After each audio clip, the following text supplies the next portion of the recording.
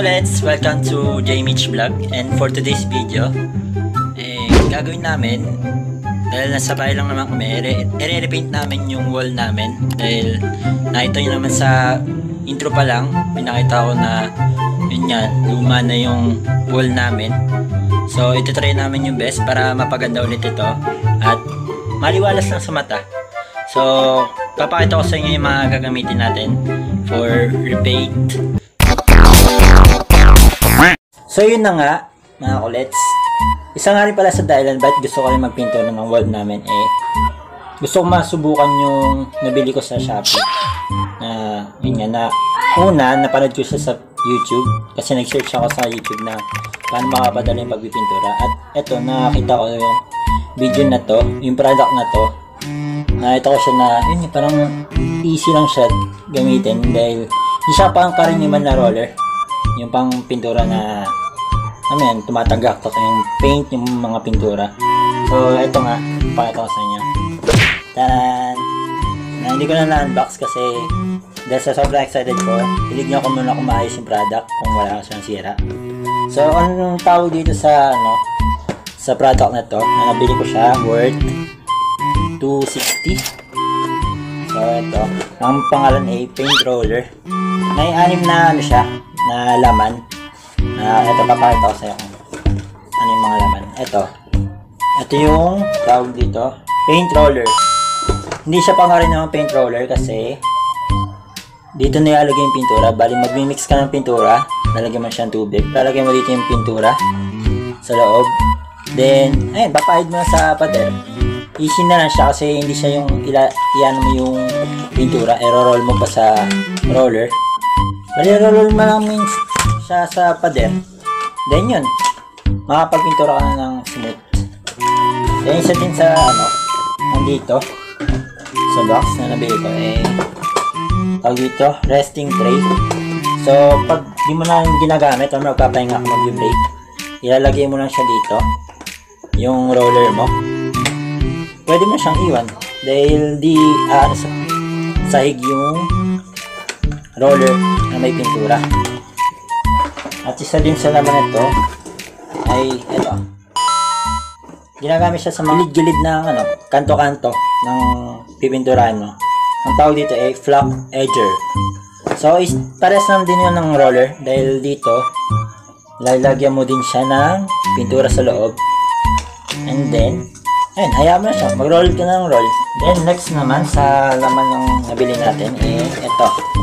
Taran. Tawag dito, pipe. So, ito yung connecting, connecting pipe para sa ating roller. Ginagamit ito para sa matataas na pipinturahan natin. Ito na siya. Ayan, ginamit na siya.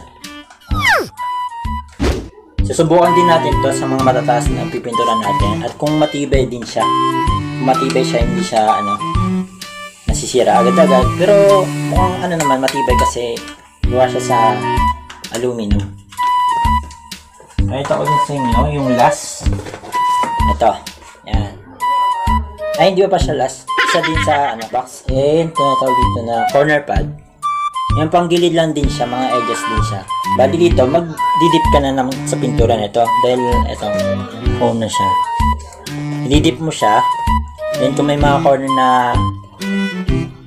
kailangan pinturahan, both sides, mapipintura mo siya ng matino or maganda. Then, isa din pala sa product na last na laman ito, eh, itong container. Ang tawag dito sa container ito eh, Easy Pure Jug. Easy Pure Jug. Dito lalagay yung pintura natin na may haluan mo siya ng tubig para smooth lang siya at nailalagay mo dun sa roller natin. So, ito nga, makikita nyo naman, may nalo ko na kasi yung pintura eh. Gamit ito. Makita nyo yung pintura na yan. So, kakulay lang din ng pader na yan. Kasi dahil nga repaint, ito yung napili naming color para sa pagre-repaint ng wall namin. So, yun lang. So, start na natin yung pagpipintura.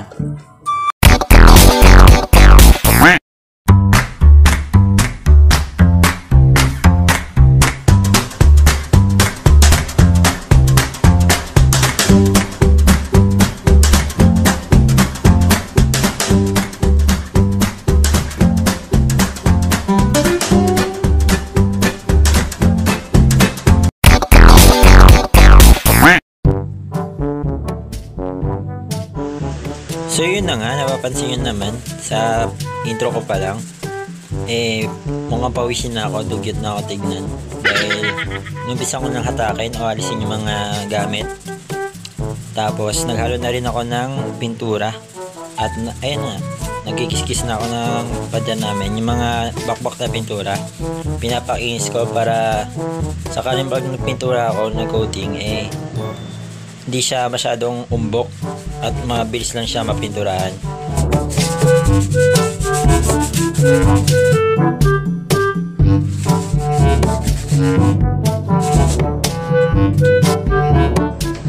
So yun na nga, after kong magkiskis ng pader, eh mag-aulis muna ako para di ako mapagalitan.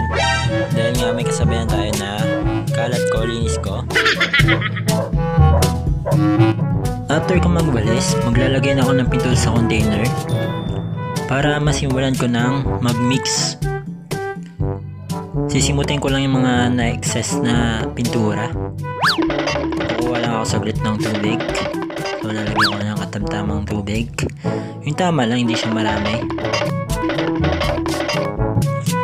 After ko maglagay ng tubig, umpisan ko nang i-mix, halu-haluin, ikot-ikutin gaya ng pagpapaikot niya sa'yo. So,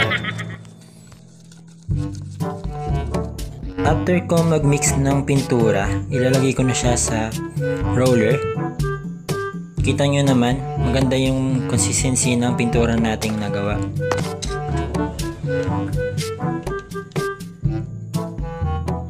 After ko ilagay ang pintura sa roller, ikot-ikutin ko muna siya. I-roll ko muna siya dito sa newspaper para mabilis nang may spread yung pintura at mabilis na nating ma-apply sa pader. First step, as you can see, hindi puti ang nalalagay nating pang first coating dahil wala tayong budget para doon. Kaya ang ginamit ko na lang ay yung mismong pintura na nabili natin.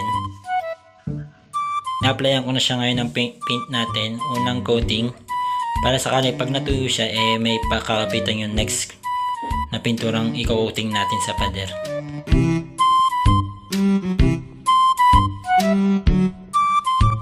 Sinubukan ko nga pala ngayon yung roller na nabili ko sa Shopee. So, ang masasabi ko lang dito eh, mabigat siya. Sobra.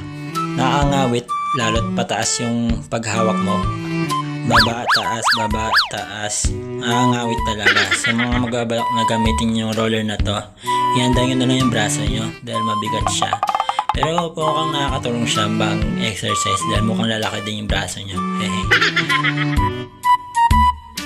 Sinisigurado ko lang lahat ay malalagyan ng pintura yung first coating natin para sakaling matuyo eh maka, may makakapitan yung next nating i-coating at kumapal siya, matabunan yung dapat takpan. Sa mga batang nanonood, ba't mabayan niyo sana kayo ng mga magulang nyo? Charot lang. Nakaubad na kasi ako, sensya na dahil sobrang init yung tanghaling tapat. Dahil sobrang bigat din ng roller na gamit ko, eh pinagpapawisan ako. Kaya ayan, buti na rin nakaubad na rin ako dahil para magaan lang yung kilos ko at maabot ko yung dapat abutin at mapinturahan. So ito na nga, second coating na ako. Nakapansin naman, natakpan na rin kahit pa paano yung mga dapat takpan.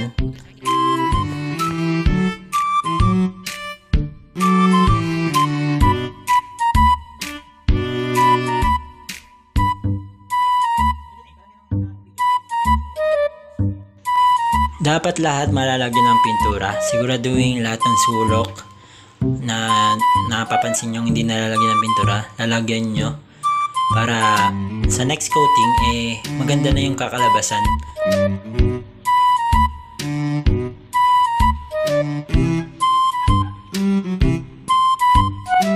Gumamit na ako ng paintbrush dito at ina-applyan ko na siya ng pintura. Pinakapalan ko na, hindi nadami ako ng pinturang itinatapal dun sa may mga bako-bako.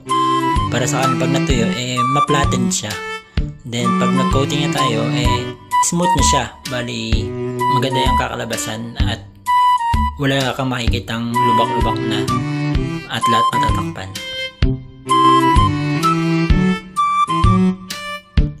I-make sure na rin natin na lahat ng singit-singitan o sulok-sulukan eh malalagyan ng pintura Para maganda naman siya pag natapos siya.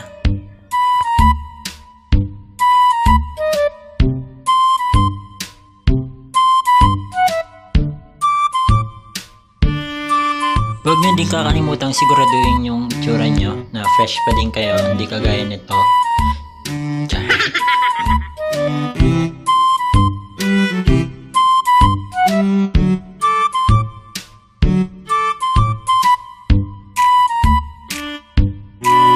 So yun na nga, gumamit na rin ako ng upuan dahil hindi ko na siya abot dahil kulang din tayo sa gamit, kulang din tayo sa height. Kaya gumamit na rin ako ng chair para pagpatungan at mapinturahan na rin ang mga taas-taasan, sulok-sulukan ng itaas para matapos na rin at mahaba na rin yung video na to.